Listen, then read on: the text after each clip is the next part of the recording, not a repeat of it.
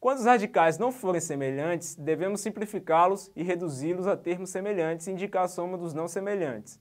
Um exemplo, eu tenho a raiz quadrada de 12 mais 5 raiz de 27. Então, se eu fatoro 12, eu tenho 2 ao quadrado vezes 3. 2 ao quadrado é 4, vezes 3 dá 12. Então, 12 eu posso escrever como esse termo aqui. Se eu tirar o MMC de 12, vai dar isso aqui. Então, e 27 eu posso escrever de outra forma. Se eu tirar o MMC de 27, eu vou ter 3 ao quadrado vezes 3. 3 ao quadrado é 9, 9 vezes 3 é 27. Então, como o produto, eu tenho um produto dentro da raiz quadrada, eu posso fazer o produto, a raiz quadrada dos produtos. Então, eu posso fazer a raiz quadrada desse termo vezes a raiz quadrada desse termo. A raiz quadrada de 2 ao quadrado eu posso escrever como 2, porque o quadrado vai cancelar com a raiz quadrada, então vai sair o 2. Se esse 2 está ao quadrado aqui, ele vai sair da raiz como sendo 2, e vai ficar só a raiz de 3. Mas eu tenho 5 raiz quadrada de 5 raiz quadrada de 3 ao quadrado vezes 3. Novamente, eu posso fazer uma raiz quadrada desse primeiro termo vezes uma raiz quadrada desse segundo termo. A raiz quadrada de 3 ao quadrado é 3, porque ele está ao quadrado, ele vai sair da raiz. Então, eu vou ficar com 5 vezes 3, esse 3 saiu daqui e esse 2 saiu daqui. Então, vou ficar com 5 vezes 3, a raiz de 3. Eu posso simplificar. Eu repito o meu 2, a raiz de 3, faço essa operação, 5 vezes 3, que dá 15, raiz de 3. Como eu tenho uma soma de mesmo índice, índice 2, índice 2, o que, que eu posso fazer? Eu posso somar os coeficientes. Então, eu faço 2 mais 15 vezes raiz de 3. 2 mais 15 dá 17 e eu tenho 17 raiz de 3. Outro exemplo, eu tenho raiz quadrada de 125 mais 2 raiz de 5. Raiz quadrada de 125, eu posso fatorar o 125, tirando o meu MC, isso aqui vai me dar 5 ao cubo. 5 ao cubo é 5 vezes 5 vezes 5. 5 vezes 5 dá, dá 25. 25 vezes 5, 125. Então, eu posso escrever 125 de outro jeito, como sendo 5 ao cubo. Então, 5 ao cubo, eu coloco aqui, somo 2 vezes a raiz de 5. 5 ao cubo, eu posso escrever como raiz quadrada de 5 ao quadrado vezes a raiz de 5 eu posso separar isso aqui em uma raiz quadrada, uma raiz quadrada de um número ao quadrado, vezes a raiz quadrada desse número. Então, eu separei raiz, raiz quadrada de 5 ao cubo em raiz quadrada de 5 ao quadrado, vezes raiz de 5. Porque esse número aqui, eu posso colocar o 5 dentro dessa raiz, passar multiplicando, porque a raiz tem o mesmo índice. Então, eu posso escrever 5 ao cubo, raiz quadrada de 5 ao cubo como esse produto aqui. Esse primeiro termo aqui, eu posso cancelar esse 2 com a raiz quadrada. E eu vou ter 5 a raiz de 5. Porque isso aqui vai sair o 5 e vai ficar multiplicando essa raiz. E eu vou ter 2 mais 2 a raiz de 5. Então, eu fico com esse termo mais esse termo. Eu tenho raiz de 5 aqui raiz de 5 aqui. Eu posso colocar a raiz de 5 em evidência e somar os coeficientes. Eu fico com 5 mais 2, que dá 7, e repito a raiz de 5. Um outro exemplo eu tenho a raiz quadrada de 8 mais a raiz quadrada de 18. Tiro o MMC de 8. O MMC de 8 é 2 ao cubo, que 2 vezes 2 vezes 2 dá 8. Então, eu tenho mais a raiz quadrada de 18. Raiz quadrada de 18, eu tiro o MMC, que dá 3 ao quadrado vezes 2. 3 ao quadrado é 9, 9 vezes 2, 18. É a mesma coisa. Então, de novo, eu escrevo a raiz quadrada de 2 ao cubo como sendo a raiz quadrada de 2 ao quadrado vezes a raiz de 2. E escrevo isso aqui como o produto de duas raízes. A raiz, do, a raiz quadrada do primeiro termo, que é esse primeiro termo, vezes a raiz quadrada do segundo termo, que é esse aqui. Então, esse 2 aqui do expoente cancela com a raiz quadrada e me dá esse 2 aqui. Fica só o de dentro. E que multiplica essa raiz de 2 aqui, como está aqui. Esse raiz quadrada de 3 ao quadrado, o 2 cancela com a raiz quadrada e me dá esse 3 aqui, que vocês estão vendo, vezes essa, essa raiz de 2, que, que é o que tem aqui. Então, eu tenho raiz de 2 vezes raiz de 2. Eu posso colocar em evidência e somar os coeficientes. 2 mais 3 é igual a 5, que multiplica o raiz de 2. Um outro exemplo, eu tenho a raiz quadrada de 8 mais a raiz quadrada de 18. Eu posso escrever 8 como 2 ao cubo e posso escrever 18 como 3 ao quadrado vezes 2. Então, raiz quadrada de 2 ao cubo, eu posso escrever como sendo esse produto aqui, raiz quadrada de 2 ao quadrado vezes a raiz de 2. E posso escrever também esse termo aqui como sendo o produto de a raiz quadrada de 3 ao quadrado, que é o que está aqui, vezes a raiz quadrada de 2. Eu separei esse radical aqui em 2. Então, fazendo isso, o 2 vai cancelar com essa raiz quadrada e vai me dar o 2 aqui. Vezes a raiz quadrada de 2, que é o que está aqui. Mais raiz quadrada de 3 ao quadrado vai me dar o 2, o expoente 2 vai cancelar com a raiz quadrada e vai sobrar o 3, que é o que está aqui, que multiplica a raiz quadrada de 2. Então, eu posso somar, como eu tenho duas raízes quadradas de 2 nos dois termos, esse fator aqui é comum, então eu posso somar os coeficientes. Eu tenho 2 mais 3, que me dá 5, raiz quadrada de 2. Multiplicação e divisão de radicais. Com os radicais de mesmo índice, conservamos o, índice e multiplicamos ou dividimos os radicandos. Então, por exemplo, eu tenho a raiz quadrada de 3 vezes a raiz quadrada de 2. Como o, o índice é 2 em ambas, em ambas as raízes, eu tenho o índice 2 aqui e o índice 2 aqui, eu posso multiplicar os radicandos. Então, eu fico raiz quadrada de 3 vezes 2, que dá raiz quadrada de 6. Aqui é a mesma coisa. Eu tenho 3 raiz de 2, que multiplica 5 raiz de 3. Como a raiz é quadrada, eu multiplico o coeficiente pelo coeficiente, que dá 3 vezes 5, que dá 15, e multiplico as raízes, como eu multipliquei aqui em cima. Raiz de 2 vezes a raiz de 3, que vai me dar a raiz de 6. Com os radicais de índices diferentes, neste caso, é necessário reduzi-lo ao mesmo índice para depois efetuar a multiplicação ou divisão. Então, um exemplo é, eu tenho raiz quadrada de 2, que multiplica raiz cúbica de 3.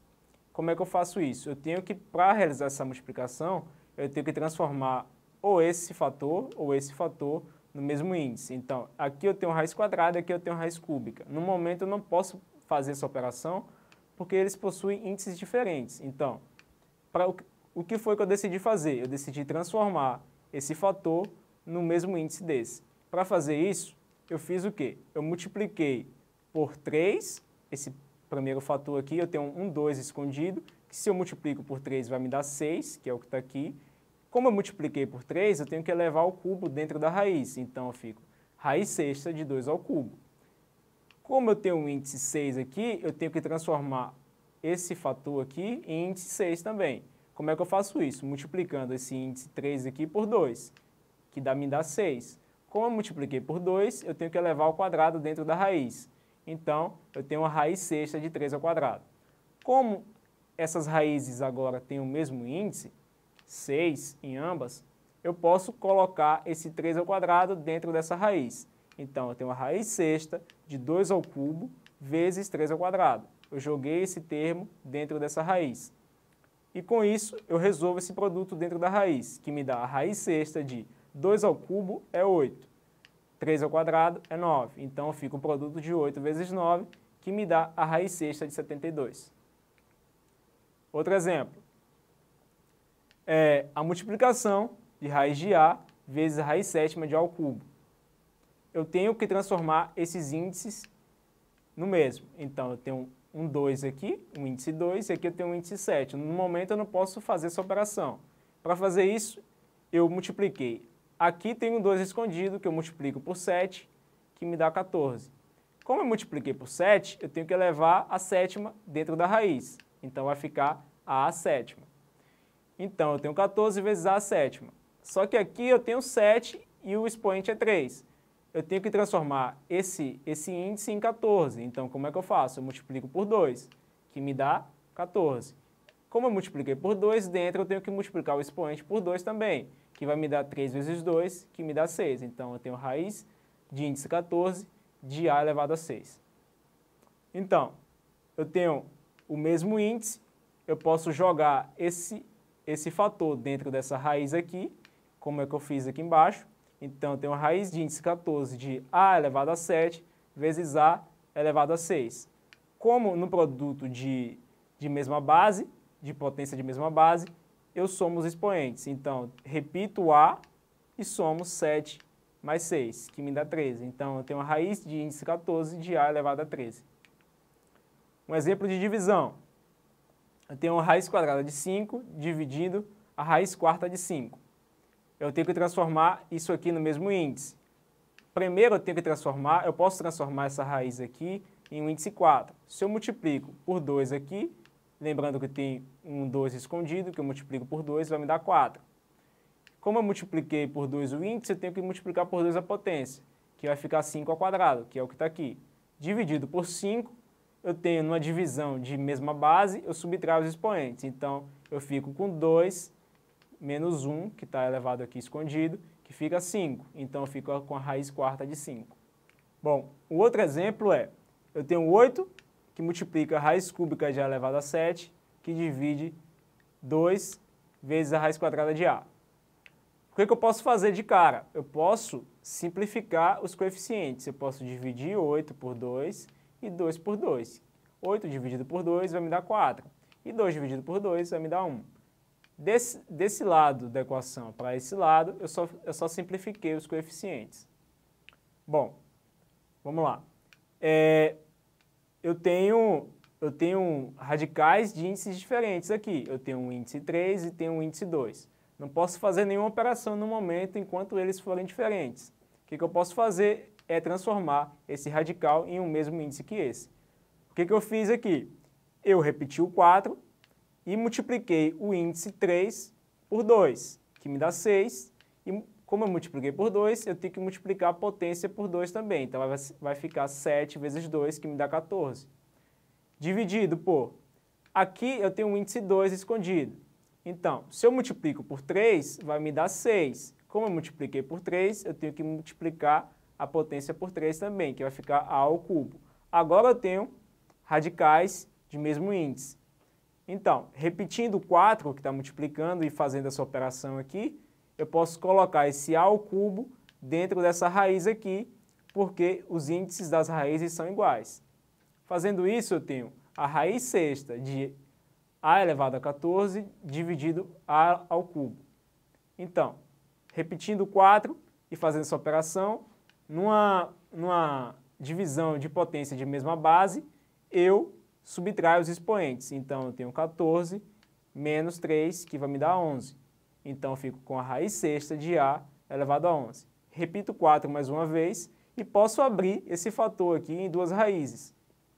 Posso fazer a raiz sexta de A a sexta vezes a raiz sexta de A a quinta.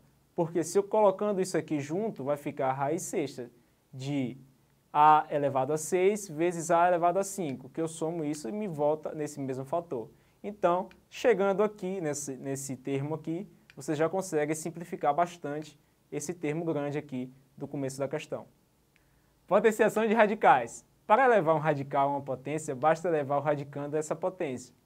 Então, um exemplo. Eu tenho a raiz cúbica de A e eu quero elevar isso ao quadrado. Como é que eu faço? Basta elevar o radicando ao quadrado. Então, eu fico com a raiz cúbica de A ao quadrado. Outro exemplo. Eu tenho a raiz cúbica de 5 e eu quero elevar ao quadrado.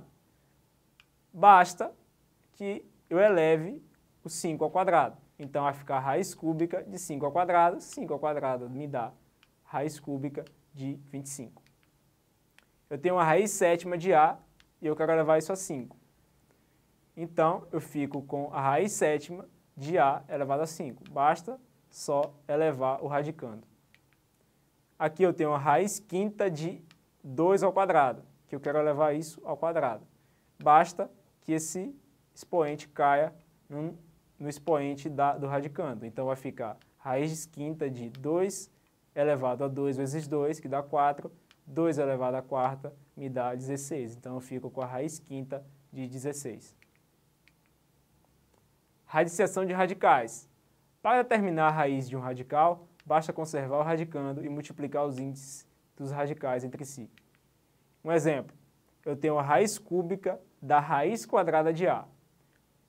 A única coisa que eu tenho que fazer é multiplicar os índices. Aqui eu tenho o índice 3 e tenho o índice 2, e escrevo isso como uma raiz só, de 3 vezes 2, que me dá 6. Então eu fico com a raiz sexta de A. Eu simplifico um termo de duas raízes a um termo de uma raiz só, simplesmente simplificando, multiplicando os índices. Um outro exemplo, eu tenho a raiz cúbica da raiz quarta de A. A única coisa que eu tenho que fazer é multiplicar o 3 pelo 4, que são os dois índices, e escrever uma raiz só. Então, fico a raiz de índice 12 de A. Aqui eu tenho uma raiz quadrada da raiz quadrada de A.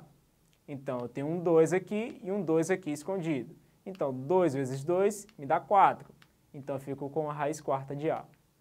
Aqui, nesse caso, eu tenho um índice 3 e um índice 5, a raiz cúbica da raiz quinta de A.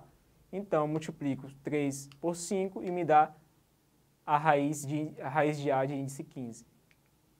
Aqui, eu tenho a raiz quinta da raiz quadrada de 3 ao quadrado. Aqui eu tenho um índice 5 e aqui eu tenho um índice 2 escondido. 5 vezes 2 me dá 10, de 3 ao quadrado.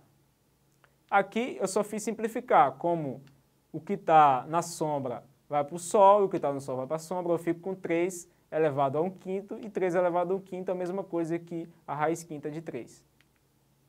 E essa foi mais uma aula do Educar em Casa. Eu utilizei os livros da editora Moderna, de matemática, e o Caderno do Futuro, da editora IBEP. Até mais, até a próxima. Tchau.